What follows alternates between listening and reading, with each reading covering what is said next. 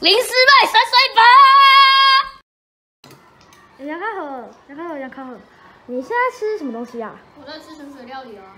那朱婷，什么是水水料理？是用水煮的较少的食物，烹或烹饪法做的美食。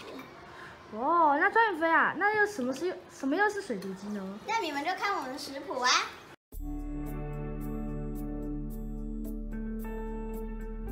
有一次看到同学因为好玩，把所有的水龙头都打开。突然我觉得，如果大家都没有省水的观念，有一天地球一定会没有水。于是我们决定要告诉大家省水的方法和好处。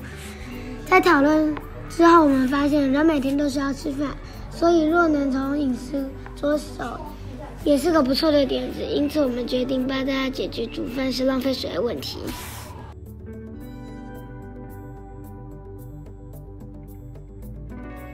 如果我们真的可以解决浪费水的问题，大家就能有足够的水资源。我们想到了运用桌游、海报或者是食谱的方式，告诉大家如何省水。最后，我们觉得饮食实在是太重要，所以想先从食谱下手。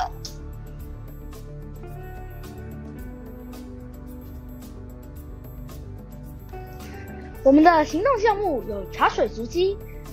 省水烹调方式、编写食谱、美编试做等，我们大部分都是一起执行，希望可以透过一本精美的电子食谱，传达出省水的观念及方法。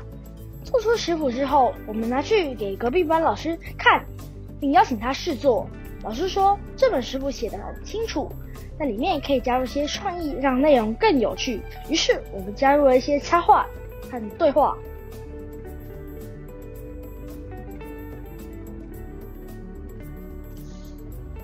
我们把电子食谱的 QR code 贴到自由班粉丝团，希望可以透过这种方式，让更多人想要看见，并且实际做做看。等疫情稍微缓和后，我们希望可以办到试吃大会，让更多人可以尝试。